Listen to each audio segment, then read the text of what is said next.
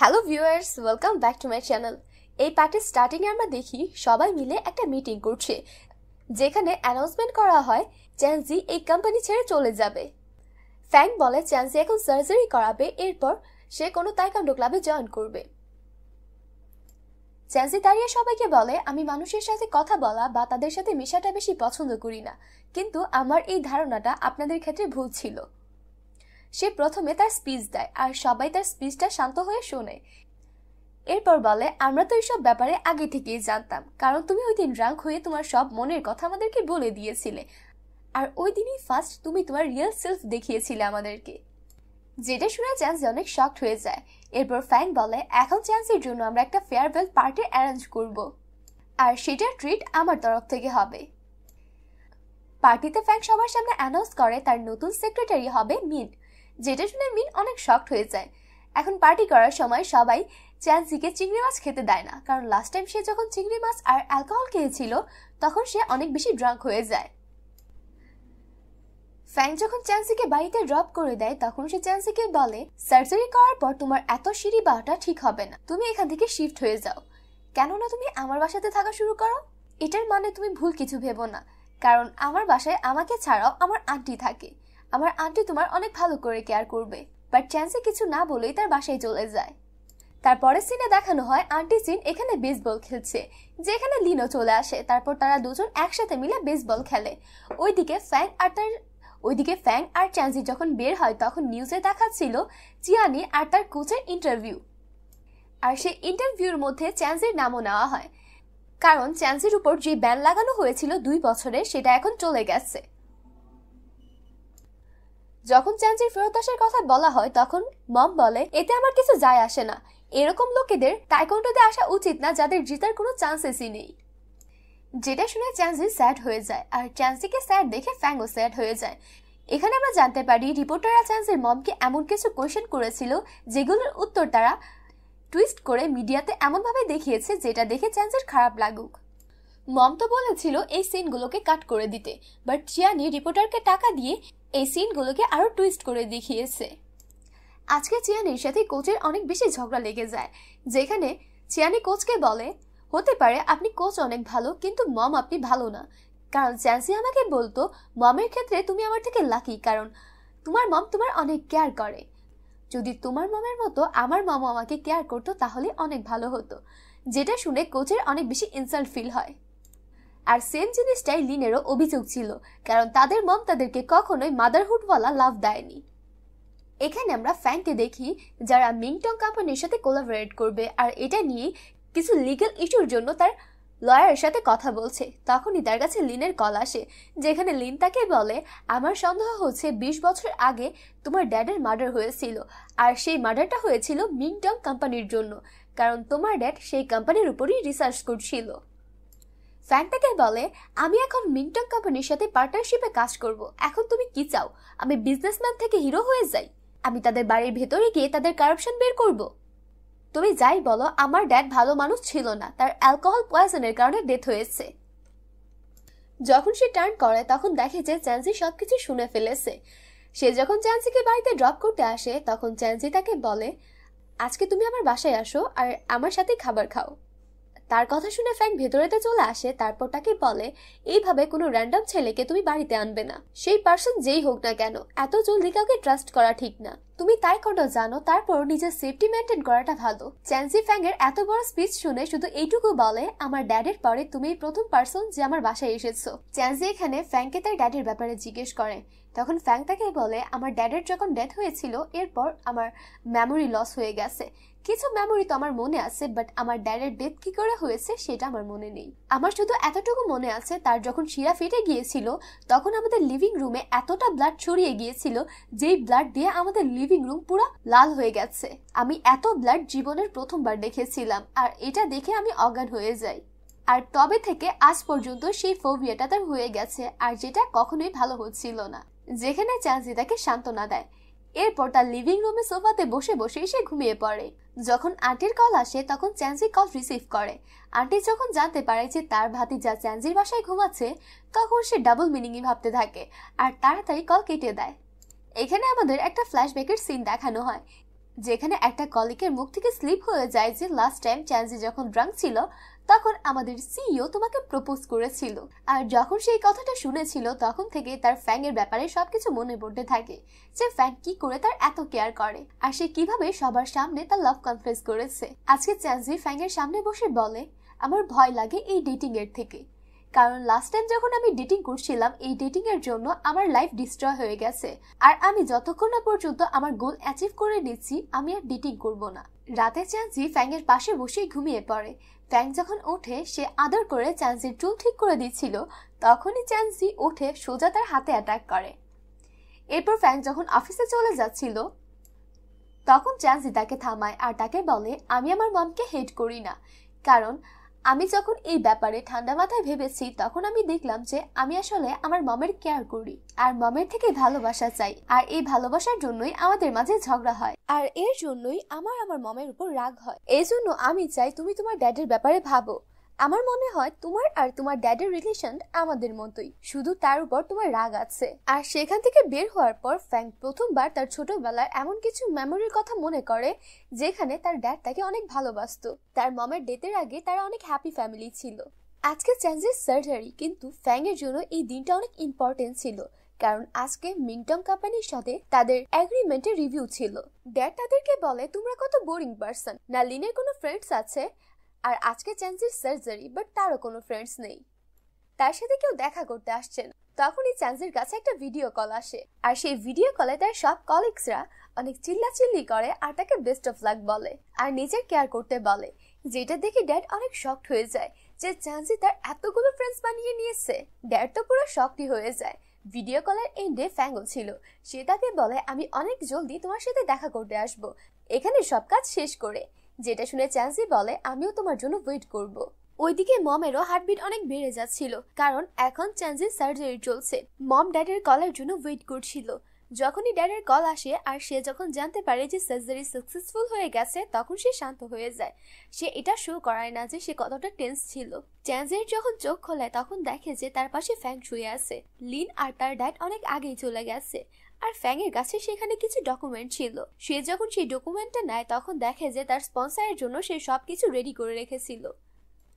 চ্যান্সির তার লাইফে special feel হতে থাকে। এর মাঝে ফ্যাং উঠে পড়ে আর চ্যান্সিকে বলে, যবে থেকে তুমি আমাকে ইয়েস বলেছ, তবে থেকেই আমি এই সবের উপর কাজ করা স্টার্ট করে দিয়েছি। কীভাবে তোমার পাবলিসিটি করাতে হবে আর কি করে এই কন্ট্রাক্ট বানাতে হবে, সবকিছু আমি রেডি করে রেখেছি।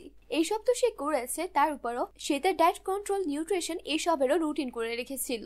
এর মাঝে চ্যান্সির সামনে আসে আর ফ্যাংকে কিস করে নেয়, যেটা দেখে ফ্যাং একদমই শক্ট হয়ে যায়।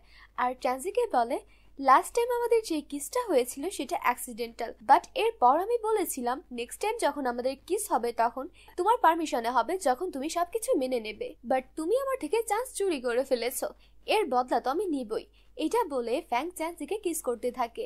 এখানে চ্যান্সি তাকে পরিষ্কার বলে দেয় যে অ্যাকচুয়ালি আমি আমার সব ফোকাস তাইকন্ডোতে করতে চাই। কারণ লাস্ট টাইমে আমার সাথে যা হয়েছিল, এই সব কিছু লাভের জন্য হয়েছিল। ফ্যাং তাকে বলে, তুমি চিন্তা করো না, আমি তোমার স্ট্রেংথ হব। আর এর সাথে আমি ওয়েটও করতে পারি যতক্ষণ না পর্যন্ত তুমি ইজি হবে। আর এছাড়াও আমি তোমার উপর নজর রাখব, যাতে তুমি তোমার মিশন থেকে এদিক ওদিক না যাও। হসপিটাল থেকে বের হতে সে তাকে মিস করতে থাকে। যখন ড্যাড এটা শুনে, তখন সে বলে, তুমি কাকে মিস করছ? চ্যান্সি বলে আমার বয়ফ্রেন্ডকে। যেটা শুনে ড্যাড অনেক শক্ট হয়ে যায়। আর চ্যান্সিকে জিজ্ঞেস করে, তোমার বয়ফ্রেন্ডও আছে? তখন চ্যান্সি বলে হ্যাঁ আছে। আর সে অনেক এক্সাইটেড আপনার সাথে দেখা করার জন্য। আপনার সাথে তার আমি একটা অফিসিয়ালি মিটিং করিয়ে দেব। আর তখন সে নিজেই নিজের ইন্ট্রোডাকশন আপনার সাথে করাবে। আর আমি এখন আপনাকে তার ব্যাপারে কিছুই বলব না। আজকে ফ্যাং অফিসে অনেক বেশি হ্যাপি ছিল। তার সেক্রেটারি ফাইল ফেলে দেয়, তারপরও সে তার উপর রাগ করে না। অনেক হ্যাপিলি তার সাথে ফাইলগুলো ওঠাতে হেল্প করে। যেটা দেখে সবাই বুঝতে পেরে যায় যে মনে হয় চ্যান্সি আমাদের বসকে হ্যাঁ বলে দিয়েছে। পরদিন ফ্যাং যায় চ্যান্সির সাথে দেখা করতে। এখন চ্যান্সি আগের থেকে অনেকটাই ভালো হয়ে গেছে। সে চ্যান্সির সাথে মজা করতে থাকে। সে বলে, আমি আগে জানতাম না যে তোমার ফিট এত বড়। যেটা শুনে চ্যান্সি কিছুটা রাগ করে। তার বয়ফ্রেন্ডের মুখ থেকে এরকম কথা শুনে। তারপর ফ্যাং তাকে দেখায় যে সে তার জন্য লাঞ্চ এনেছে। যেটা দেখে চ্যান্সি হ্যাপি হয়ে যায়। আর সে নিজের হাতে অনেক টেস্টি টেস্টি খাবার বানিয়ে এনেছিল। আর সে চ্যান্সিকে বলে, তোমার ড্যাড যখন আসবে, তখন তাকেও এগুলো খেতে দেবে। কারণ আমি তোমার ড্যাডের সামনে নিজের নাম্বার বানাতে চাই। তাকে দেখাতে চাই যে তার মেয়ের জামাই কত কিছু পারে। সে যখন বাড়িতে আসে তখন দেখে যে আন্টি সিন পিলোকে হাক করে অনেক লজ্জা পাচ্ছিল, যেটা দেখে আমাদের ফ্যাং বুঝে যায় যে আন্টিকে টিস করার টাইম আবার চলে এসেছে। সে তার আন্টিকে আবার বলে যে আপনার লাইফে লাভের স্টার চলে এসেছে। এখন আপনি তাড়াতাড়ি ডিসাইড করুন আপনি কার সাথে চলবেন। পরদিন লিন ফ্যাংকে কল করে তার সাথে দেখা করতে ডাকে। তার কাছে অনেক ইম্পর্টেন্ট কিছু ডকুমেন্ট ছিল। যেটা ফ্যাংয়ের কাজে লাগতে পারে। কারণ চ্যান্সি কখনোই রাজি হতো না অন্য ক্লাবে যাওয়ার জন্য। সে তার মমের ক্লাবেই থাকতে যায় যেখানে তার মমি তার কোচ হবে। এই জন্য লিন চং ক্লাবের সব ডিটেলস এনে ফ্যাংকে দিয়ে দেয়, যাতে সে এটা দিয়ে একটা প্রপোজাল রেডি করতে পারে। কিন্তু লিন বলে, এর বদলে আমারও কিছু চাই। লিন বলে, তোমার ড্যাড শিয়াঙ্গের ল্যাপটপ চাই। সে তখন যে প্রজেক্টে কাজ করছিল, সেই প্রজেক্ট রিলেটেড সব ডেটা আমার লাগবে। এই জন্য তুমি তার ল্যাপটপটা আমাকে এনে দেবে। তো এটাতে তারা দুজনেই রাজি হয়ে যায়। এখন চ্যান্সি হসপিটাল থেকে বাড়িতে চলে এসেছে, আর সে চুজ করেছিল ফ্যাংয়ের বাড়ি। যেখানে আন্টি চিন অনেক ভালো করে তার কেয়ার করে। যেখানে আন্টি চিন চ্যাংজির সাথে অনেক কথা বলে। যেখানে সে বলে, ফ্যাং আমার উপর কতটা ডিপেন্ডেন্ট। সে না ভালো করে রুম গোছাতে পারে, না রান্না করতে পারে। যেটা শুনে চ্যাংজি অনেকটা শক্ট হয়ে যায়। আর আন্টিকে বলে, সে তো কুকিং করতে পারে। যেটা শুনে আন্টি শক্ট হয়ে যায়। আর হঠাৎ করে স্যাড হয়ে রুম থেকে বের হয়ে যায়। ফ্যাং যখন আসে, তখন চ্যান্সি গোসল করে বের হয়েছিল। সে এখানে চ্যান্সির হেয়ার ড্রাই করে দিয়েছিল যদিও চ্যান্সি তাকে বলে যে, আমার শর্ট হেয়ার তারপরও ফ্যাং তার হেয়ার ড্রাই করে দেয়। কারণ তার অনেক শখ ছিল তার গার্লফ্রেন্ডের সেবা করার। এরপর ফ্যাং যায় তার আন্টির কাছে আর তাকে বলে, আমার একটা জিনিস রিয়েলাইজ হয়েছে। অ্যাকচুয়ালি আমি আমার ড্যাডকে হেট করি না, শুধু আমার তার উপর রাগ আছে। যেমনটা চ্যান্সির চ্যান্সির মমের উপর আছে। আর এটা আমার অনেক টাইম পর রিয়েলাইজ হয়েছে। তখন আন্টি সিন বলে, এখন সময় হয়ে গেছে তোমার ড্যাডির রিলেটেড যে জিনিসপত্র ছিল সেগুলো তোমার হাতে তুলে দেওয়া। সেগুলো তোমার হাতে তুলে দেওয়া। সেই বক্সটা খোলার পর ফ্যাং দেখে যে তার ছোট্টবেলার অনেক ভালো কিছু মেমোরি আছে সেখানে। এরপর যখন সে ল্যাপটপ ওপেন করে, তখন দেখে যে সেখানের ডেটা কেউ ফরম্যাট করে দিয়েছে। যেটা দেখে ফ্যাং অনেক শক্ট হয়ে যায়। সে যখন মাঝরাতে ওঠে, তখন দেখে যে চ্যান্সি লিভিং এরিয়াতে বসে আছে। সে তাকে জিজ্ঞেস করে, তোমার জন্য কি কিছু বানিয়ে দেব? যেটা শুনে চ্যান্সির মনে পড়ে। আর সে তাকে জিজ্ঞেস করে, তুমি তোমার আন্টিকে মিথ্যে কেন বলেছ? যে তুমি কুকিং করতে পারো না। যেটা শুনে ফ্যাং অনেক টেন্স হয়ে যায় যে, তুমি তাকে এটা কেন বললে? অ্যাকচুয়ালি, আন্টি চিন অনেক ডিপ্রেশনে আর অনেক টেন্স থাকতো। আর সেটা এই জন্য করতো যাতে আন্টি চিন বিজি থাকে। আর তাছাড়াও সে আমার কাজ করে এতটা হ্যাপি হতো, যার কারণে আমি কখনোই দেখাইনি যে আমি ইন্ডিপেন্ডেন্ট হয়ে গেছি। আমার আর আমার আন্টির রিলেশনটাই এমন, যেখানে আমি তাকে বিরক্ত করে বেশি মজা পাই। পরদিন সকালে আন্টি যখন ওঠে, তখন দেখে যে ফ্যাং প্রথমবার বাড়িতে খাবার বানিয়েছে, যেটা দেখে আন্টি অনেক বেশি স্যাড হয়ে যায়।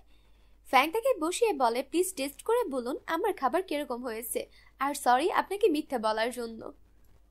আর সেটা খাওয়ার পর আন্টির ফেস দেখার মতো ছিল।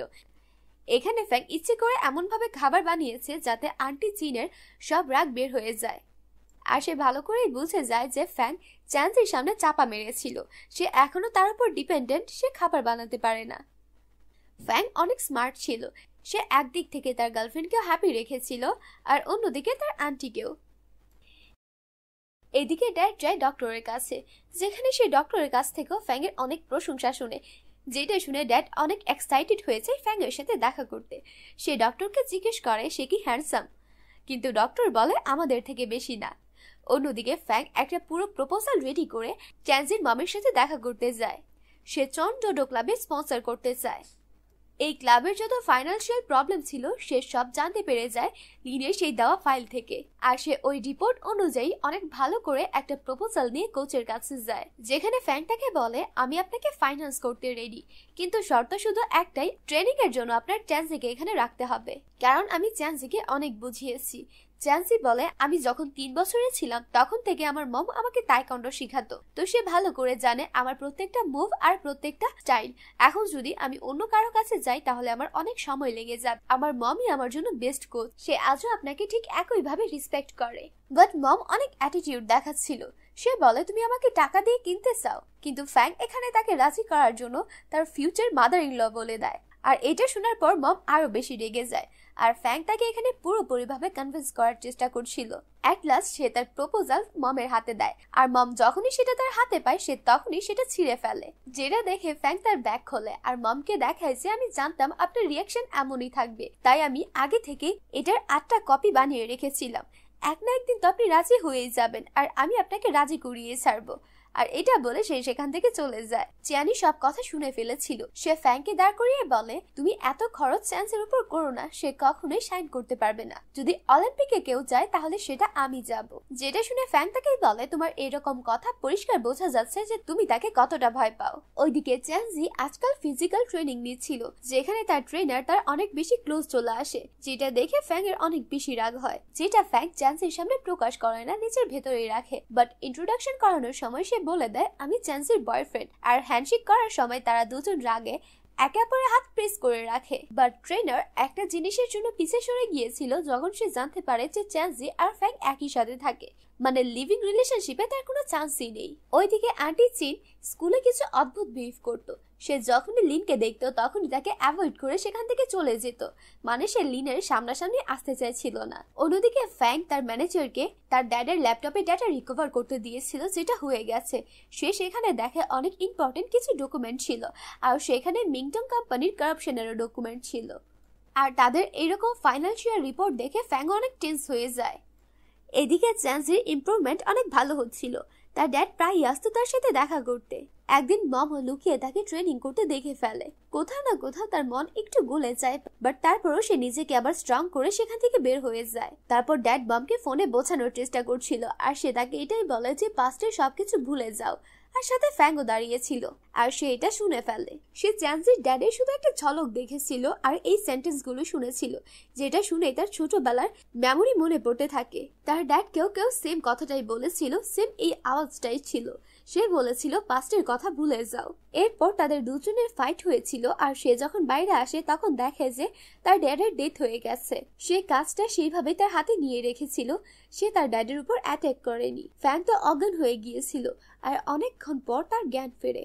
বাট যখন তার জ্ঞান ফিরে, তখন সে অনেক ভয়ে ছিল আর আতঙ্কে ছিল। সে এটাই ভাবছিল, আমরা যতই নিজের পাশ থেকে পালানোর চেষ্টা করি বাট সেটা অলওয়েজ আমাদের সামনে চলে আসে। এর পরের সিনে আমরা দেখি যে চ্যান্সি ক্লাবে পৌঁছে গেছে, তার ট্রেনিং নেওয়ার জন্য। ফ্যাংও তার সাথেই ছিল, সে বলছিল, সবকিছু ঠিক হয়ে যাবে। মনে হয় সে এখনও তাকে অ্যাপ্রুভাল দেয়নি। বাট তারপরও সে তাকে সেখানে অ্যাডমিশন দিয়ে দেয়। ওইদিকে ছুটি হওয়ার পর আন্টি চিন এটা ভেবে শান্তিতে যাচ্ছিল যে লিন হয়তো তার মেয়েকে নিয়ে চলে গেছে বাট তখনই লিন তাকে ধরে দেওয়ালের সাথে পুশ করে দেয়, যেটা দেখে আন্টি চিন অনেক ভয় পেয়ে যায়। তখনই আন্টি চিনের কলিগ এসে এমন বিহেভ করতে থাকে যে তারা দুজন গার্লফ্রেন্ড বয়ফ্রেন্ড বাট লিন তাদের অ্যাক্টিং ধরে ফেলে। সে বলে, তোমরা যদি গার্লফ্রেন্ড বয়ফ্রেন্ড হয়ে থাকো, তাহলে আমাকে প্রুফ করে দেখাও। কিস করো, কারণ স্কুলও তো ছুটি হয়ে গেছে। এখন কিস করাটা তোমাদের জন্য নর্মাল ব্যাপার। যেটা শুনে আন্টি জিৎ তাকে কিস করার ট্রাই করছিল, তখনই লিন তার হাত ধরে তাকে সাইডে নিয়ে আসে আর তাকে বলে, আপনি এসবও করতে পারেন, আমার জানা ছিল না। আর ফ্যাঙ্গের সেখান থেকে যাওয়ার পর কোচ তাকে বকতে থাকে। সে বলে তোমাকে এই ইউনিফর্ম পরার পারমিশন কে দিয়েছে? তুমি এখন এই ইউনিফর্ম পরতে পারবে না। তুমি শুধু ফিজিক্যাল এক্সারসাইজ করতে পারবে। এখানে লিন তাকে বাইরে নিয়ে আসে আর তাকে বলে, মনে হয় তুমি আমার ফিলিংস এর ব্যাপারে জানো। এই জন্য আমার থেকে পালানোর চেষ্টা করছ।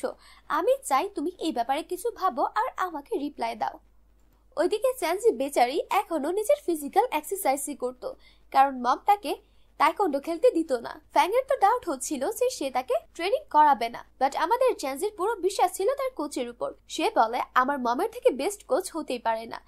এই ফিল্ডে আমার মমের থেকে প্রফেশনাল আর কেউ হতেই পারে না। সে আমাকে দিয়ে যেটা করাচ্ছে, সেটা ভেবে চিন্তেই করাচ্ছে।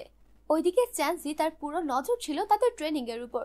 কীভাবে মম চিয়ানিকে ট্রেনিং করাচ্ছে। সে তার মমের প্রত্যেকটা কথা তার মাইন্ডে সেট করে রাখছিল। আর সে শুধু করতো সেখানে ফিজিক্যাল ট্রেনিং এর মাঝে সেখানে ফ্যাং চলে আসে আর আসতেই মমের সাথে ঝগড়া করতে থাকে। সে বলে, পনেরো দিন হয়ে গেছে। এখনও আপনি তাকে ফিজিক্যাল ট্রেনিংই করাচ্ছেন। আপনার কাছে কি মনে হচ্ছে যে আপনি তার সাথে ঠিক বিহেভ করছেন? ফ্যাং আর চ্যান্সের মমের যখন ঝগড়া হচ্ছিল, তখন যাওয়ার আগে ফ্যাং তাকে শুধু এইটুকু বলে প্লিজ চ্যান্সের আপনার উপর পুরো ট্রাস্ট আছে। তো আপনি তাকে হতাশ করবেন। আর আসার সময় সে চ্যান্সিকে এটাই বলে যে, এই পর্যন্ত তুমি একটা ম্যাচও খেলোনি। আবার তুমি চাও যে এইবার অলিম্পিকেও খেলবে। তাহলে কি করে হবে এটা? এখন চ্যান্সের এত টেনশন হচ্ছিল। তারপরও সে বলে, আমার আমার কোচের উপর পুরো বিশ্বাস আছে। এদিকে আমরা মমকে দেখি যে চ্যান্সের সব মেমোরি যত্ন করে রেখে দিয়েছিল। সে প্রথম যে তাইকন্ডো ড্রেস পরে তাইকন্ডা খেলেছিল, সে ওইটাও সামনে রেখেছিল। আর এখানে আমরা একটা রহস্য জানতে পারি। চ্যান্সি যখন ছোট ছিল, তখন সে চ্যান্সিকে বাঁচাতে গিয়ে তার একটা গাড়ির সাথে অ্যাক্সিডেন্ট হয়ে যায়। যার কারণে সে আর অলিম্পিক খেলতে পারে না, কারণ সে যেই টাইপের ব্যথা পেয়েছিল, সেটা অলিম্পিকের জন্য কোয়ালিফাইড না। এখানে ড্যাড মমকে শুধু এইটুকু বলে, তুমি তোমার মেয়ের জন্য কত বড় একটা কুরবানি দিয়েছ। তুমি এই সব সত্য নিজের মেয়েকে কেন বলো না? তুমি এই পর্যন্ত কত কিছু করেছ তোমার মেয়ের জন্য। তোমার উচিত তাকে সবকিছু বলে দেওয়া। তখন মম বলে, না, চ্যান্সি আমাকে কিছু বলে, না, আমি তাকে। তো কাহিনী এখানেই শেষ। এখন বাড়িতে আসার সময় চ্যান্সি গাড়িতেই ঘুমিয়ে পড়েছিল। এই জন্য ফ্যাং তাকে কোলে করে তার রুমে নিয়ে যায়। এদিকে আমাদের একটা ফ্ল্যাশব্যাকের সিন দেখানো হয়, যেখানে আন্টির কলিগ তাকে বলছিল, আপনি যদি আমাকে রিজেক্ট করে লিনের কাছে চলে যান, তাহলে সেটা কি মানাবে? কারণ আমরা দুজন একই এজের, আর লিন আপনার থেকে ছোট। যেটা শুনে আন্টিও রেগে যায় আর সে বলে, আমি নিজেকে এমনভাবে ফিট রেখেছি যেটা দেখে আমার থেকে কম বয়সী ছেলেরা আমাকে প্রপোজ করার জন্য রেডি থাকে। তো তুমিও নিজের ফিজিক্সের উপর একটু খেয়াল রাখো, যাতে তোমার থেকে কম এজের মেয়েরাও তোমাকে প্রপোজ করে। আর এখানে সে দেখে ফেলে ফ্যাং চ্যান্সিকে কোলে করে নিয়ে আসছে। সেটা দেখে খুশি হয় বাট আবার স্যাডও হয়ে যায়। পরদিন সকালে চ্যান্সির দেখা হয় চিয়ানির সাথে, যেখানে চিয়ানি তাকে অনেক বিরক্ত করে। চিয়ানি তাকে বলে, তোমার কি একটু লজ্জা হয় না? তোমার বয়ফ্রেন্ড তোমাকে টাকা দিয়ে এখানে এন্ট্রি করিয়েছে যেখানে চান্সি বলে একেবারেই না। উল্টো আমার তার উপর প্রাউড হয়, কারণ সে আমার জন্য এত অ্যাফোর্ড করছে, সে আমার জন্য তার টাকাও বাঁচিতে লাগিয়েছে। এখন আমি যখন রিংয়ে নামবো, তখন শুধু আমার জন্য না ফ্যাংয়ের জন্যও খেলব, কারণ আমি তাকে হাঁটতে দেখতে চাই না। এদিকে লিন আন্টিকে একটা প্রপার্টি ডিলারের অফিসের বাইরে দেখে ফেলে আর সেটাকে কোলে করে সেখান থেকে নিয়ে আসে, আর ততক্ষণ পর্যন্ত ছাড়ে না, যতক্ষণ না পর্যন্ত আন্টি তাকে সত্যি বলছে। যেখানে আন্টি তাকে বলে, আমি দেখেছি ফ্যাং চ্যান্সির সাথে অনেক ক্লোজ হয়ে গেছে। এখন আমি চাই না আমি সেই বাড়িতে থাকি, কারণ আমার অকওয়ার্ড ফিল হয়। এখন হয়তো আমার মুভ আউট করে নেওয়া উচিত, কারণ ফ্যাঙ্গের এখন তার ফ্যামিলি স্টার্ট করার সময় চলে এসেছে। আর এসব বলতে গিয়ে সে অনেক স্যাড হয়ে যাচ্ছিল আর তার চোখেও পানি চলে আসে। সে লোনলি থাকতে চাইছিল না বাট তারপরও ফ্যাং আর তার ফিউচার ওয়াইফের জন্য সে সেখানে থার্ড হুইল হতে চাইছিল না। যেখানে লিন তাকে জিজ্ঞেস করে ফ্যাঙ্কি কিছু বলেছে? তখন আন্টি বলে যে, না, সে কিছু বলেনি বাট আমি তার বলার আগেই নিজে কিছু স্টেপ নিতে চাই। লিন তাকে বোঝায়, আপনি যতই বড় হয়ে যান না কেন, ভেতর থেকে আপনি এখনও বাচ্চা। আপনার উচিত আপনি নিজে গিয়ে এই ব্যাপারে ফ্যাঙ্গের সাথে কথা বলা। আর কথা বলার পর যদি আপনার ঠিক মনে হয়, তাহলে এখান থেকে মুভ আউট হয়ে যাওয়া। তখন আমি নিজে আপনাকে হেল্প করব মুভ আউট হতে। এখন জিন ফ্যাংকে কিছু বলবে, এর আগে লিন ফ্যাংকে সবকিছু বলে দেয়। এখানে ফ্যাং তার আন্টিকে বলে, আমি এইভাবে আপনাকে এখান থেকে যেতে দেব না। যতদিন না পর্যন্ত আপনি আপনার ট্রু লাভ আর বিয়ে করছেন ততদিন পর্যন্ত আপনি এখানেই থাকবেন। আর আমি যাকে তাকে আপনার হাজবেন্ড হতে দেব না, আমি নিজে তার ইন্টারভিউ নিব। সেখানে সে এটাও বলে যে, যদিও এই বাড়ি আমি কিনেছি, তারপরও আমার কোনো বাড়ি বাড়ি না যেখানে আপনি না থাকবেন। এই জন্য এই টাইপের কথা যে আমি আর কখনো অন্য কারও মুখ থেকে না শুন, আমি চাই যে আপনি আপনার সব মনের কথা আমাকে বলুন। এরপর আন্টি লিনকে কল করে বকতে থাক, যেখানে লিন বলে, দেখেছেন, আমি ঠিকই করেছি। আপনাদের দুজনের সব মিসআন্ডারস্ট্যান্ডিং দূর করে দিয়েছে। এখন ফ্যাং যায় তার গার্লফ্রেন্ডের কাছে, যে সেখানে এক্সারসাইজ করছিল। সে সবসময় তাকে পিক অ্যান্ড ড্রপ করতো। আর আজকে তার কিছুটা এক্সারসাইজ বাকি রয়েছিল। তাই সে সেটা করিয়ে তাকে কিসও করে। এর মাঝে সেখানে চান্সির ড্যাড চলে আসে। আর ফ্যাং যখন দেখে যে এটা চান্সির ড্যাড তখনই সে তাকে চিনতে পেরে যায়। আর সেটা দেখতেই তার মনে হয় যে তার লাইফে তুফান চলে এসেছে। তার ওই সিনটা মনে পড়ে যায় যখন তার ড্যাড আর চান্সির ড্যাড একসাথে ফাইট করছিল। চান্সির ড্যাড এটাই বলছিল যে, তোমার কম্পিউটার থেকে সব ডেটা ডিলিট করে দাও। আর এরপর সে দেখে যে তার ড্যাডের ডেথ হয়ে গেছে। ফ্যাং এই সব কিছু সহ্য করতে পারে না এই জন্য সে ভয়ে সেখান থেকে চলে যায়। চ্যান্সি ওইটা দেখে অনেক শক্ট হয়ে যায় আর সে বাইরে গিয়ে তাকে হাক করে ফেলে। এরপর তাকে আর কিছু জিজ্ঞেস করে না, যেখানে ফ্যাংও তাকে কিছু বলে না। সে বলে, আজকাল অফিসের এত প্রেশার থাকে আর আমার উপর অনেক বার্ডান আছে। সরি আমি তোমাকে অকওয়ার্ড করে দিয়েছি। এর বদলে ফ্যাং বলে, নিজেকে রিসার্চ করে দিই যেখানে সে চ্যান্সির থেকে কিস চায়। আর চ্যান্সেও সেটা করে দেয়। এরপর বাসায় এসে সে লিনকে কল করে আর তাকে বলে, আমি তোমাকে একটা সত্যি বলতে চাই। তুমি কি জানো, যেদিন আমার ড্যাডের মার্ডার হয়েছিল সেই দিন তোমার ড্যাডও আমার বাসায় এসেছিল। সে এটা বলে যে, এই ইনসিডেন্টের সাথে তোমার ড্যাডের কানেকশন আছে।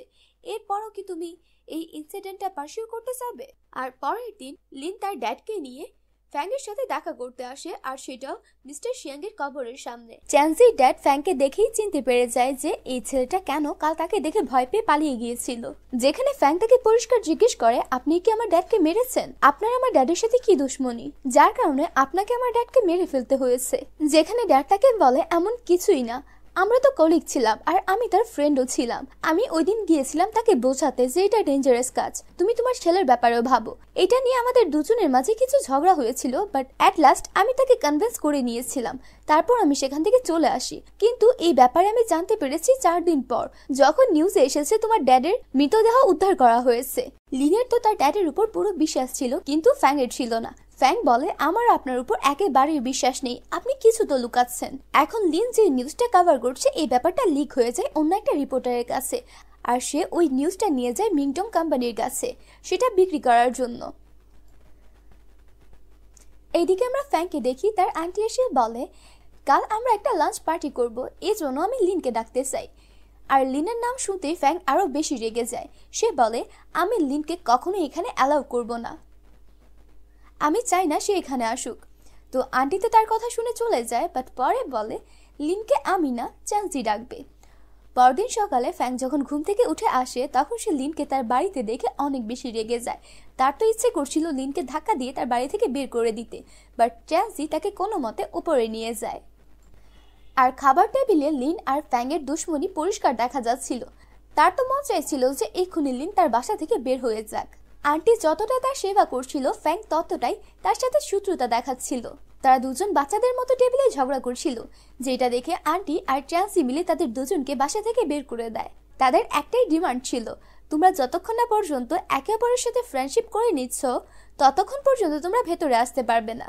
এখানে লিন ফ্যাংকে বোঝাতে থাকে যে, তুমি আমার উপর বিশ্বাস রাখো। যে সত্যিটাই বের হবে, আমি সব কিছু এসে তোমাকেই বলব।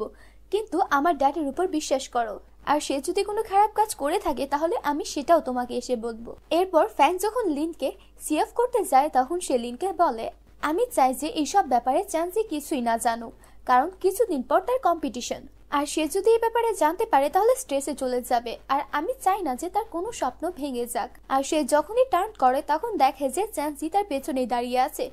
সে সিনিয়রের জন্য একটা টয় রেখেছিল আর সেটাই তার ভাইকে দিতে যাচ্ছিল। চ্যান্সি সবকিছু শুনে ফেলে। এই জন্য ফ্যাং তাকে বলে প্লিজ তুমি এইসব ব্যাপারে ভেবো না। আমি আর লিন মিলে সবকিছু সামলে নেব। তুমি তো জানোই তোমার উপর আমার কত টাকা খরচ হয়েছে। তো তুমি তো চাও না যে এই টাকাগুলো ওয়েস্ট যাক। এই জন্য তুমি শুধু তোমার প্র্যাকটিসে ফোকাস করো। এসব কিছু আমরা সামলে নেব। এইদিকে ফ্যাঙ্গেরও তার ইনভেস্টারের অনেক প্রেশার ছিল। তারা এটাই চাইছিল মিংটং কোম্পানির সাথে তাদের কন্ট্রাক্ট তাড়াতাড়ি ফাইনাল হয়ে যাক। এইদিকে চ্যান্সি সোজা যায় তার এইদিকে চ্যান্সি সোজা আসে তার ড্যাডির সাথে দেখা করতে। সে জিজ্ঞেস করে, প্লিজ আমাকে সবকিছু সত্যি বলুন। আর সে যখনই বের হয় তখন দেখে যে ফ্যাং তার জন্য ওয়েট করছে। সে ফ্যাংকে বলে, ড্যাড আমাকে এতটুকুই বলেছে, সে তোমার ড্যাডকে এই নিউজ কভার করতে মানা করেছে নিজের ফ্যামিলিকে প্রোটেক্ট করার জন্য। তখন ফ্যাং তাকে বলে, অ্যাকচুয়ালি আমার ভয় হয়। তুমি যদি এ ব্যাপারে জানতে পেরে যাও, আর আমার সাথে তোমার অকওয়ার্ড বা এম্বারাস ফিল হয় তাহলে আমাদের মাঝে রিলেশনটা আগের মতো থাকবে না। আমার এটা মনে হতো হয়তো বা তুমি আমাকে ছেড়ে চলে যাবে। এদিকে লিন ফ্যাংকে ফোন করে বলে, তুমি ভালো করে মনে করো, আমার ড্যাডের যাওয়ার পর সেখানে কি অন্য কেউ এসেছিল? ফ্যাং বলে, আমার সব কিছু তো মনে নেই বাট আমি একটা লাইটার পেয়েছি। এই লাইটারটা আমার ড্যাডের না। সে ওই লাইটারের ছবি তুলে তাকে পাঠিয়ে দেয় আর তাকে বলে, তুমি এই ব্যাপারে তোমার ড্যাডের কাছে জিজ্ঞেস করো, হতে পারে এটা তার। আর সেটা যদি তোমার ড্যাডের না হয়, তাহলে সেখানে অবশ্যই অন্য কেউ এসেছে। আর এই লাইটারটা তারই। তারপর আমাদেরকে একটা ফ্ল্যাশব্যাকের সিন দেখানো হয়। চ্যান্সের ড্যাড যখন জানতে পারে যে তার ফ্রেন্ডের ডেথ হয়ে গেছে, তখন সে নিউজ পেপার নিয়ে তার ফ্রেন্ড লিয়াংয়ের কাছে আসে আর তাকে এই ব্যাপারে জিজ্ঞেস করে। কারণ চ্যান্সের ড্যাড যখন শিয়াংয়ের বাড়ি থেকে চলে এসেছিল তখন এটাই সেই পার্সন ছিল যে তার বাড়িতে গিয়েছিল। আর তার আসার পরই শিয়াংয়ের ডেথ হয়ে যায়। বাট এখানে লিয়াং তাকে ব্ল্যাকমেল করতে থাকে আর বলে, শিয়াং মারা গেছে। আর রইল কথা তোমার, তুমি যে শিয়াংয়ের বাসায় গেছো আর সেখান থেকে বের হয়েছো, এই সব কিছুর আমি ভিডিও করে রেখেছি আর ছবিও তুলে নিয়েছি। আমি যদি এটা পুলিশকে দিয়ে দিই, তাহলে তারা তোমাকে গ্রেফতার করে নেবে। কিন্তু আমাকে কিছু করতে পারবে না। কারণ তার বাসায় যে আমি গিয়েছি, সেটার কোনো প্রমাণ নেই। আর মিংটং কোম্পানির লোকেরা এতটাই খারাপ, তারা তোমাকে জেলে পাঠিয়ে দেওয়ার পর তোমার ফ্যামিলিকেও ছাড়বে না। এই জন্য নিজের ফ্যামিলির কথা ভেবে চুপ থাকো। ওইদিকে চান্সির সবসময় ফিজিক্যাল ট্রেনিংই হয় বাট তার সামনে যারা তাইকন্ডো খেলছে, সে তাদের উপরেও ভালো করে ফোকাস করে। কোচ তাদেরকে যেই যেই জায়গায় ভুল ধরিয়ে দেয়, সে ভালো করে সেগুলো তার মাথায় সেট করে রাখে। এইদিকে আন্টি জিনকে তার ফ্রেন্ড হেল্প করে। সে বলে, এখন তোমার চোখ বন্ধ হওয়ার পর যার ফেসটা তোমার সামনে আসবে, সেই তোমার জন্য মিস্টার রাইট এদিকে চ্যান্সিকে দেখানো হয় যার মুড আজকে অনেক খারাপ। কারণ অনেক টাইম হয়ে গেছে, সে এখনও এক্সারসাইজই করছে। এখানে ফ্যাং তাকে হ্যাপি করার জন্য দেখায় যে সে তার জন্য কিচেন বানিয়েছে। কারণ তার গার্লফ্রেন্ড জুয়েলারি পরে না। এই জন্য সেই কি চেনে পুরো চ্যান্সের মতো ফেস বানানো ছিল, যেটা সে নিজের হাতে তার গার্লফ্রেন্ডের জন্য বানিয়েছে। এরপর চ্যান্সি যখন তার ফিজিক্যাল ডক্টরের কাছে যায়, তখন ডক্টর তাকে বলে তুমি তোমার মমের ব্যাপারে নেগেটিভ ভেবো না। আর এখানে সে তাকে কিছু প্রুভও দেখায়। তার ট্রেনার আর তার মম দুজনই ওই সার্জনের সাথে কন্ট্যাক্টে ছিল, যেখানে সার্জন তাদেরকে বলেছে চ্যান্সিকে অনেক টাইম পর্যন্ত তার মাস্কুলার স্ট্রেংথ বাড়াতে হবে। এই জন্য তাকে বেশি বেশি ফিজিক্যাল ট্রেনিং করতে হবে। না হলে সে যখন ফাইট করতে নামবে, তাহলে তার আবার কোনো না কোনো একটা ব্যথা লেগে যাবে। আর নেক্সট টাইম এই ইনজুরি সহ্য করতে পারবে না। আর এসব কিছু তোমার মম ইচ্ছে করে করছে বাট তোমাকে বলছে না। ইন রিয়েলিটি সে তোমার অনেক কেয়ার করে, আর সে ট্রেনারের সাথে কন্টিনিউয়াসলি কন্ট্যাক্টে থাকে, আর ডেলি সে চ্যান্সের রিপোর্ট নিত। ট্রেনার তাকে এটাও বলে যে, তোমার মম আমাকে বলেছে, আমার চ্যান্সি অনেক ট্যালেন্টেড ও যতটা ট্যালেন্টেড ততটা আমিও ছিলাম না। আমি আমার কেরিয়ারে সব থেকে ব্রিলিয়েন্ট স্টুডেন্ট আমার চ্যান্সিকেই দেখেছি। তার যদি ফিজিক্যাল ট্রেনিং কমপ্লিট হয়ে যায়, তাহলে আমার পুরো বিশ্বাস আছে, সে তাইকন্টোতে সবাইকে হারিয়ে দেবে। আর এখন গিয়ে চ্যান্সি বুঝতে পারে তার মম তো কিছু বলতো না বাট তার প্রত্যেকটা জিনিসের পেছনে একটা না একটা লজিক থাকতোই। সে ফ্যাংয়ের টাকা দেখে তাকে অ্যাডমিশন দেয়নি, বরং এই জন্য দিয়েছে, যদি চ্যান্সি অন্য ট্রেনারের কাছে চলে যায়, তাহলে সে হয়তোবা তার ফিজিক্যাল স্ট্রেংথে ফোকাস করবে না। হতে পারে সে আবার নিজের নিয়ে ইনজার করে ফেলবে, আর এটার জন্য সে নিজেকে কখনোই মাফ করতে পারবে না। এদিকে চান্সি ডার যায় লিয়াং এর সাথে দেখা করতে আর তাকে জিজ্ঞেস করে, এই লাইটারটা কি তোমার? লিয়াং বলে হ্যাঁ আমার বাট তুমি কিছু প্রুফ করতে পারবে না। এখানে আমাদেরকে ফ্ল্যাশব্যাকের সিন দেখানো হয়, কীভাবে ফ্যাং এর ড্যাডের ডেথ হয়েছে। লিয়ান গিয়েছিল শিয়াং এর সাথে দেখা করতে আর তাকে বোঝাতে। এরপর সে তার কম্পিউটার ফরমেট করে দেয়। এই সব কিছু যখন শিয়াং দেখে, তখন সে তার সাথে ঝগড়া করতে থাকে। আর তখন সে ড্রাঙ্কও ছিল। যখন তারা দুজন ফাইট করছিল, তখন শিয়াং এর পা চলে আসে একটা বোতলে। আর সেই বোতলের সাথে স্লিপ খেয়ে সে সোজা গিয়ে অ্যাকুরিয়ামে পড়ে। আর সেটার সাথে ধাক্কা খাওয়ার পর তার এত বেশি ব্লিডিং হয়, যার কারণে সে অন দ্য স্পট মারা যায়। এটা দেখার পর লিয়ান তার কোনো হেল্পই করেনি। সে চুপচাপ সেখান থেকে বেরিয়ে যায়, কারণ তার কাজ হয়ে গেছে। যেখানে সে আবার চ্যান্সি ড্যাডকে ব্ল্যাকমেল করতে থাকে। সে বলে, আমার বিরুদ্ধে তো কোনো প্রুফ নেই বাট তোমার বিরুদ্ধে আছে। তো তুমি সাবধানে থেকো। আর তোমার ছেলের লিনকেও সাবধানে থাকতে বলো। এটা বলে সে সেখান থেকে চলে যায়। বাট আমরা এখানে জানতে পারি যে চ্যান্সির ড্যাড সবকিছু রেকর্ড করে নিয়েছে। এতটুকু প্রুফ যথেষ্ট ছিল লিয়ানকে জেলে পাঠানোর জন্য। আর ফ্যাক যখন এটা শুনে, তখন সে বুঝতে পারে আসলেই চ্যান্সির ড্যাড ইনোসেন্ট ছিল। আসল দোষিত হলো লিয়ান। মিংটং কোম্পানি অনেক বড় ছিল। আর সেখানে ডাইরেক্টরের পোস্টের জন্য আজকাল ইলেকশন চলছিল। সেখানে ফোর ফ্যামিলিজ ছিল। যেখানে তারা একে অপরের সাথে কম্পিট করছিল। আর যে কনস্ট্রাকশন ফ্যামিলি ছিল, তারা ওই টাইমে রেকর্ডের মধ্যে গড়বড় করেছিল। যেখানে ফ্যাং তার ম্যানেজারকে বলে, এখানে যে বড় বড় কুমির আছে, তাদেরকে ধরার জন্য আমাদের মতো ছোট মাছ কাজে লাগবে না। তাই তাদেরকে ধরতে আমি আরও বড় কুমির আনব। অ্যাকচুয়ালি সে সব প্রুফ নিয়ে তাদের অপোনেন্টকে দিয়ে দেয়। আর সেই অপোনেন্ট এই সব নিউজগুলো গিয়ে মিডিয়াকে দিয়ে দেয়। আর অন্য ফ্যামিলিকে হারিয়ে তারা নিজেই ডাইরেক্টর হয়ে যায়। লিন যখন এটা দেখে, তখন ফ্যাং এর উপর অনেক রেগে যায়। সে বলে, তুমি আমার এক্সক্লুসিভ নিউজ অন্য কাউকে দিয়ে দিয়েছ। তখন ফ্যাং বলে যে, দেখো, তাদের সাথে কম্পিট করার মতো সামর্থ্য আমাদের সাধারণ মানুষের নেই। তারা অনেক ডেঞ্জারাস মানুষ। তো শুক্রিয়া আদায় করো, তোমার জীবন বেঁচে গেছে। ওই বারে লিয়াঙ্গো দাঁড়িয়েছিল যে সবকিছু শুনে ফেলে। সে তাদের উপর রেগে যায় আর তাদেরকে বলে, তোমরা আমার সব কাজ নষ্ট করে দিয়েছ। কারণ সে কনস্ট্রাকশন সাইডের সিইওর সাথে কথা বলে রেখেছে, সে লিনের সব নিউজ তাদেরকে দিয়ে দেবে। আর এর বদলে তারা তাকে পাঁচ লাখ টাকা দেবে। সে বলে, তোমাদের জন্য আমার সব টাকা ডুবে গেছে। এরপর রেগে সেখান থেকে বেরিয়ে যায়। এখানে লিনতাকে জিজ্ঞেস করে, তুমি তার থেকে বদলা নিতে চাও না? তখন ফ্যাং বলে, বিশ বছর পুরনো একটা লাইটার এতে কিছুই প্রুফ হবে না। আর তাছাড়াও আমি আমার ফাদারের লোকে সেভ করতে চাই। তাকে আমি উপরওয়ালার কাছে ছেড়ে দিলাম। সে তার কর্মের ফল তাকে অবশ্যই দেবে। আর সত্যি ঠিক এমনটাই হয়।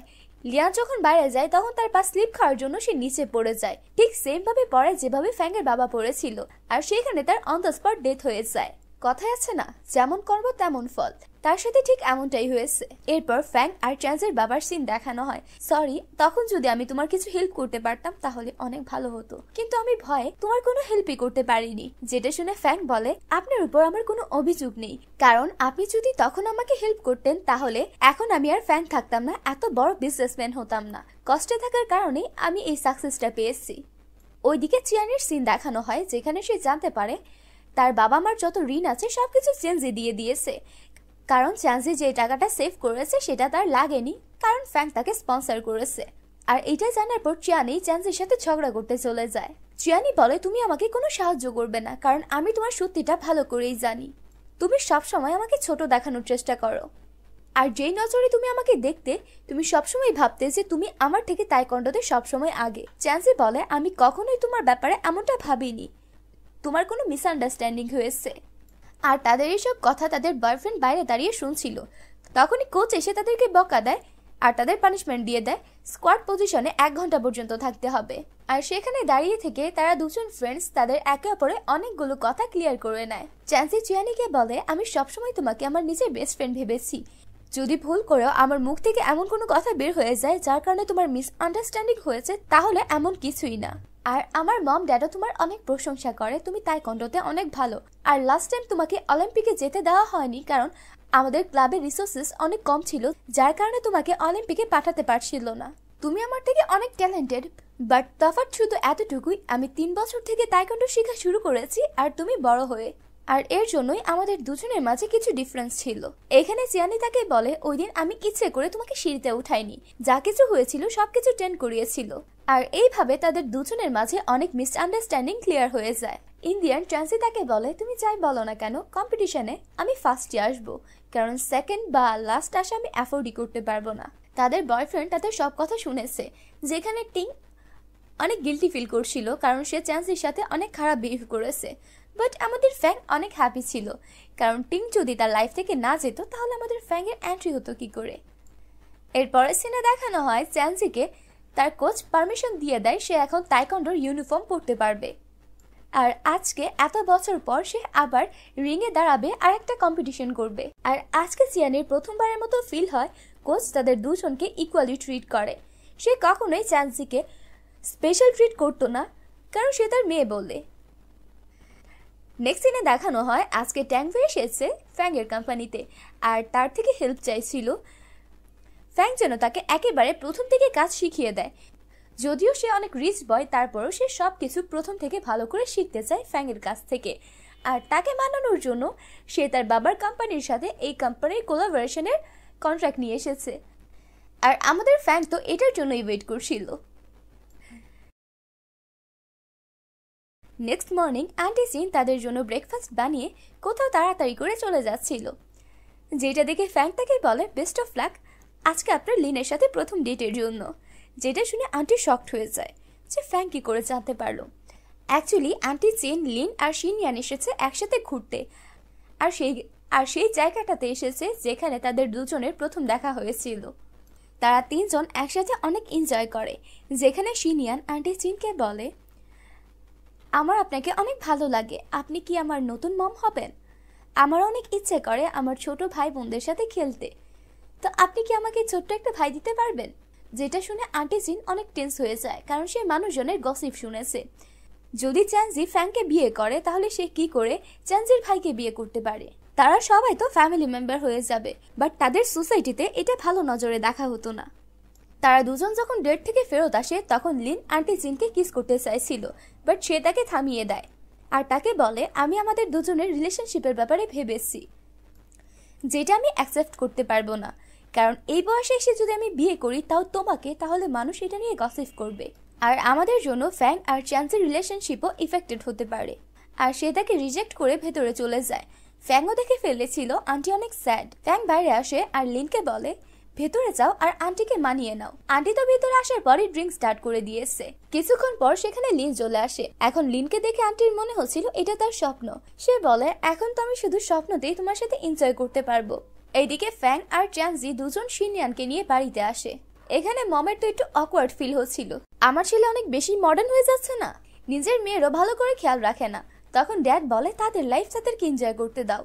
এখানে মম বলে আমার মেয়ে চাঁদজি আজকে আমার বাড়িতেই থাকবে আর কাল সকালে আমার সাথে ক্লাবে যাবে। তো ফ্যাং, তুমি এখান থেকে চলে যাও। যেটা শুনে ফ্যাং চুপচাপ সেখান থেকে চলে যায়, এটা ভেবে যে তাদের মা মেয়ের মধ্যে ফ্রেন্ডশিপ হয়ে যাচ্ছে। নেক্সট মর্নিং আন্টি চিনার যখন চোখ খোলে, তখন দেখে যে তার সামনে লিন বসে আছে। আর এইসব দেখে তো সে অনেক বেশি লজ্জা পেয়ে যায়, কারণ এগুলো তো সে স্টার্ট করেছে। লিন তাকে বলে, আপনি কত বছর ধরে আমার মেমোরিতে ছিলেন। এখন এত বছর পর লাইফ যখন আমাদেরকে আরেকটা চান্স দিয়েছে তখন আপনি মানুষের কথার জন্য আমাকে রিজেক্ট করবেন। আর ফাইনালি লিন আন্টিকে নিজের মতো ব্রেভ বানিয়ে দেয় আর তাকে বিয়ে করতে রাজি করিয়ে ফেলে।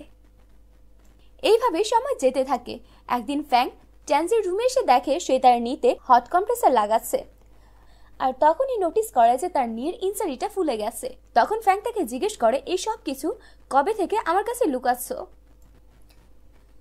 চ্যান্সি তাকে বলে, আমি ভয় পেতাম। আমি যদি তোমাকে বলি, তাহলে তুমি আমাকে প্র্যাকটিস করতে দিতে না। আর এই স্বপ্ন যেটা আমি পূরণ করতে চাই, সেটার চান্স আমি আর কখনোই পাবো না। একবার তো ফ্যাং অনেক রেগে যায়। আর তাকে বলে, তুমি কি পাগল হয়ে গেছো? স্বপ্নের জন্য পা সারা জীবনের জন্য তুমি ড্যামেজ করতে চাও? একটা মেডেল দিয়ে কি পা এক্সচেঞ্জ করবে? যেটা শুনে চ্যান্সের চোখে পানি চলে আসে। সে বলে, এটা তোমার কাছে শুধু একটা মেডেল হবে বাট এটা আমার কাছে আমার পুরো লাইফ আমার মমের স্বপ্ন, আমার স্বপ্ন। আমি এত সহজে এটা গিভ আপ করতে পারব না। আমার কাছে জীবনের কোনো মূল্য নেই তাই কণ্ড ছাড়া। আমি এত কিছু সহ্য করেছি, এরকম একটা এন্ডিং এর জন্য। এখানে ফ্যাং চলে যায় আর আবার কিছুক্ষণ পর ফেরত আসে। তাকে একটা হ্যান্ডমেড রিং পরিয়ে দেয়। এরপর বলে, আমি জানি না ফিউচারে কি হবে। হতে পারে তোমার পা ড্যামেজ হয়ে যেতে পারে আর তুমি হাঁটতে না পারো। এই জন্য আমি আগেই তোমাকে বিয়ে করতে চাই যাতে ফিউচারে তুমি আমাকে কোনো এক্সকিউজ দিতে না পারো। কিছুদিন পর ফাইনালি সেই দিন চলে আসে যেই দিন চ্যানজি তার কম্পিটিশনে যাবে। এখানে ফ্যাঙ্গো তার সাপোর্টের জন্য এসেছিল, সাথে সব কালিগুরাও চ্যানজি সব রাউন্ডে অনেক ভালো পারফরমেন্স করে। বাট এখানে ফ্যাং কিছুটা ভয়ে ছিল, যেটা মমও নোটিস করেছে বাট মম তো পুরো কনফিডেন্ট ছিল, কারণ সে তার মেয়ের নিয়ের ব্যাপারে জানতো না। কিছুক্ষণ পর তার নিয়ে যখন ব্যথা করছিল, তখন মমও জানতে পারে। সে এখানে চ্যান্সিকে অনেক বকতে থাকে সে বলে, তুমি ভালো করে জানো, এর কারণে তোমার পা সারা জীবনের জন্য ড্যামেজ হয়ে যেতে পারে। এই জন্য তুমি জিত ছেড়ে দাও আর এক্ষুনি কুইট করে দাও। আমরা সামনের ম্যাচ খেলব না। সাথে ফ্যাংকে বকে, তোমার সাহস কি করে হয়? এটা আমার থেকে লুকানোর। আর এখানে চান্সি অনেক বছর পর নিজের মমকে কোচ না বলে মম ডাকে। মম, প্লিজ, আপনি আমাকে এই ম্যাচটা খেলতে দিন। এটা আমার লাইফের শেষ চান্স আমি চাই না এটা মিস করতে। না হলে আমি পুরো লাইফ রিগ্রেট ফিল করব। মম তো প্রথমে তাকে অনেক বকে, তারপর তাকে বসিয়ে নিজেই তার পায়ে ব্যান্ডেজ করতে থাকে। এদিকে চ্যান্সি কান্না করছিল, নিচে বসে তার মমও কান্না করছিল। সেখানে থেকে সবাই অনেক ইমোশনাল হয়ে যায়। এসবের পর মম তাকে বেস্ট অফ লাক বলে সেখান থেকে চলে যায়। আর এখন চ্যান্সের ফাইনাল রাউন্ড সে এখানে এসে তাদের সবাইকে দেখছিল। যাদের সবার স্ট্রাগল ছিল তার এই পর্যন্ত আসার জন্য। আর সেখানে সব থেকে ইম্পর্টেন্ট নেম ফ্যাংয়ের ছিল। আর এটা ছিল চিয়ানির সাথে। চিয়ানি অনেক বছর ধরে ফর্মে ছিল। আর মনে হচ্ছিল সেই এই ম্যাচটা জিতবে। চিয়ানির জন্য প্লাস পয়েন্ট হলো চ্যান্সির নি ইনচার্জ ছিল। এখানে তারা দুজন অনেক ভালো করে ফাইট করে। আর এটার মাঝে চ্যান্সি তার থেকে দুই রাউন্ড আগে ছিল। বাট থার্ড রাউন্ডে গিয়ে তার নিতে এত বেশি প্রেশার পড়ে, যার কারণে সে নিচে পড়ে যায়। এখন ডিসিশন চ্যান্সির মমের কাছে। হয় সে তাকে কুইট করতে বলবে, না হলে কন্টিনিউ সে যখন তার মেয়ের মাই সুইচটা দেখে, তখন সে তার ডিসিশন পাল্টে নেয়। আর তাকে ম্যাচ কন্টিনিউ করতে বলে। আর ফাইনালি এখানে চ্যান্সি ম্যাচ জিতে যায়। আর চিয়ানি সেকেন্ড এসেছিল। এখন সে তার তাইকন্ডো ক্লাবের জন্য গোল্ড মেডেল জিতে নিয়েছে। জিতার কিছুক্ষণ পরই সে সেখানে অজ্ঞান হয়ে যায়। আর তার কল্পনায় দেখে যে, ছোট্ট চ্যান্সি গোল্ড মেডেল জিতে অনেক প্রাউডলি তার মমকে দিচ্ছে। আপনি আমার জন্য যা যা স্যাক্রিফাইস করেছেন, আমি সবগুলো শোধ করতে এসেছি। চ্যান্সির যখন হসপিটালে চোখ খুলে তখন তার সামনে চিয়ানি বসেছিল। সে এখানে তাকে বকছিল। আর তাকে বলে, তুমি তোমার ফিউচারের সাথে এমনটা কি করে করলে? তোমার পা যদি ড্যামেজ হয়ে যেত, তাহলে তোমার ফিউচারটাই নষ্ট হয়ে যেত। তুমি তোমার ইগোর জন্য তোমার পাটাকে ডেঞ্জারে ফেলে দিয়েছ। বাট তারপরও চান্সের ফেসে একটা স্মাইল ছিল। চিয়ানি বলে, এইবার তো তুমি আমার থেকে জিতে নিয়েছো বাট অলিম্পিকে তো তুমি যেতে পারবে না। সেখানে আমি যাব আর আমিই জিতবো। যেটা শুনে চান্সি তাকে বলে, আমিও চাই তুমি অলিম্পিকে গোল্ড মেডেল জিতো। তুমি প্রমিস করো তুমি আমাদের চং ক্লাবের জন্য গোল্ড মেডেল আনবে। এরপর সেখানে মম আসে। আর আজকে চ্যান্সি সবার থেকে শুধু বকাই শুনছিল। মম তো কান্নাই করে দেয়, কারণ সে তার মেয়ের জন্য অনেক ভয় পেয়ে গেছে। আর এক লাস্ট স্মাইলিং ফেস নিয়ে আমাদের ফ্যাং আসে। সে আজকেও তাকে সেভাবে সাপোর্ট করে, যেভাবে সব সময় করত। চ্যান্সি তাকে সরিও বলে। যেটা শুনে ফ্যাং বলে, যদি একটা কিস করো, তাহলে আমি তোমাকে মাফ করে দেব। এরপর ফ্যাং তাকে বলে, তোমার স্বপ্ন পূরণ করার জন্য আমি তোমাকে সাপোর্ট করেছি। এখন আমার স্বপ্ন পূরণ করার জন্য তুমি আমাকে সাপোর্ট করবে। আমি আমার বিজনেস ইন্টারন্যাশনাল করতে চাই। আর তাছাড়াও আমার আরেকটা স্বপ্ন আছে, আর সেটা হলো আমাদের অনেকগুলো বাচ্চা হবে, যেখানে আমাদের নিজেদের একটা ফুটবল টিম থাকবে। এটা শুনতে চ্যান্সি লজ্জা পেয়ে যায় আর ঘুমানোর নাটক করতে থাকে। এখন আমাদের তিন মাস পরের সিন দেখানো হয়, যেখানে সে একদম ঠিক হয়ে গেছে। সে তো তাইকন্ডো খেলতে পারবে না বাট লাইফে ভালো করে হাঁটা চলা করতে পারবে। সে আবার ফ্যাংয়ের কোম্পানি জয়েন করে নিয়েছে। আর সেখানে গিয়ে জানতে পারে যে ফ্যাংয়ের আজকে একটা মিটিং আছে, যেখানে একটা বড় ক্লায়েন্ট সে তার মেয়ের বিয়ে ফ্যাংয়ের সাথে করাতে চায়, আর আজকে তাদের ডেট রেখেছে। যেটা শুনতেই চান্সি অনেক রেগে যায়, আর তাড়াতাড়ি সেই জায়গায় চলে আসে যেখানে তাদের ডেট চলছে। অ্যাকচুয়ালি এটা ফ্যাংয়েরই প্ল্যান ছিল।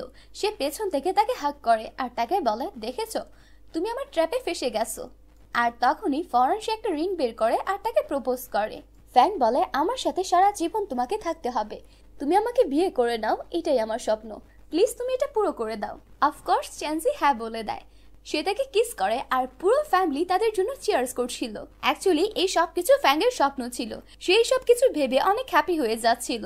এর মাঝেই দেখে যে চ্যান্সি চলে এসেছে। সে তার পেছনে যায় আর তাকে হাক করতে নিচ্ছিল। চ্যান্সি সুইমিং পুলের পাশে দাঁড়িয়েছিল আর সে টার্ন করে, আর তখনই ফ্যাং বেচারা নিচে পড়ে যায় মানে পানিতে। এটা ঠিক সেম সিন যখন তাদের প্রথম দেখা হয়েছিল। এখানে বেচারার সব প্ল্যান পানিতে পড়ে যায়। বেচারা স্যাড হয়ে বসেছিল। তখনই সেখানে চান্সি আসে আর তাকে দেখায় যে, তোমার কোট থেকে রিং বের করে আমি পরেও ফেলেছি। এটা দেখে ফ্যাং অনেক হ্যাপি হয়ে যায়। আর ট্রানজি তাকে ইয়েস বলে দেয়। আর তাদের এই হ্যাপি সিনটা তাদের ফ্যামিলি বসে দেখছিল। আর এখানে আমরা এটাও জানতে পারি যে চিন আর লিন তারা দুজনও এক হয়ে গেছে। এখানে দুইটা কাপল একসাথেই ছিল। যেখানে চ্যান্সি তাকে বলে, আমি তোমার সব স্বপ্ন পুরো করব। বাট দশটা বাচ্চা একটু বেশি হয়ে যায়। হতে পারে আমি এখানে হেরে যাই। এর সাথেই আজকের ড্রামার হ্যাপি এন্ডিং হয়ে যায়। যদি ভিডিও ভালো লাগে তাহলে লাইক, কমেন্ট অ্যান্ড শেয়ার করবেন। আর এইরকম আরও নতুন নতুন ড্রামা দেখার জন্য অবশ্যই আমার চ্যানেলটিকে সাবস্ক্রাইব করবেন। Stay connected, bye bye.